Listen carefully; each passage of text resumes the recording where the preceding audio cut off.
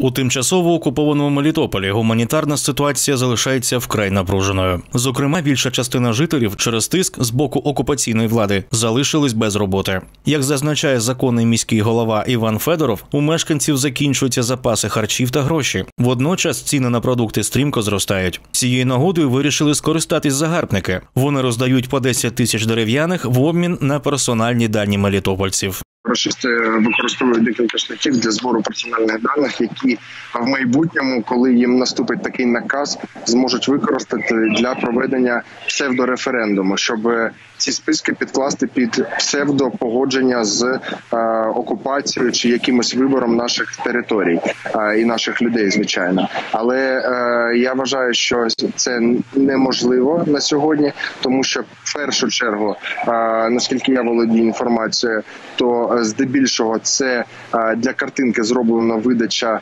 10 тисяч, і вона не є, не носить масовий характер, і кошти дуже швидко закінчаться. А по-друге, е, щоб вони намалювали в цих референдумах, псевдореферендумах, які вони захотять провести, це точно не е, допоможе їм. Тим часом у Мелітополі вкотре дуже вдало попрацювали партизани. Спільними зусиллями зі спецслужбами України вони підірвали рейки, аби запобігти руху поїздів рашистів. Вдалося провести вдалу спецоперацію, яка дала свої результати. Спецоперація стосується доставки паралізації доставки вогнепальної зброї, боєприпасів до міста Мелітополя та всіх окупованих територій расистами.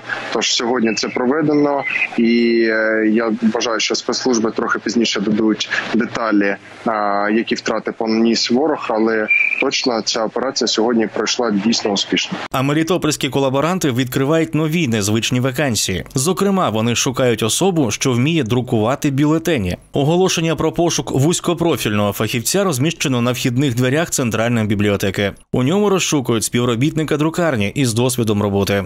Окупанти викрадають людей по другому колу. Загарбники вкотре взяли в полон голову Кирилівської селищної ради Івана Малєєва та його заступника Ігоря Коробку. Обох чоловіків із зав'язаними очима та руками вивезли в невідомому напрямку. Також викрадено директорку місцевого будинку культури Світлану Шиян. За попередньою інформацією, окупанти також пограбували адміністрацію Кирилівської громади та центру надання адміністративних послуг.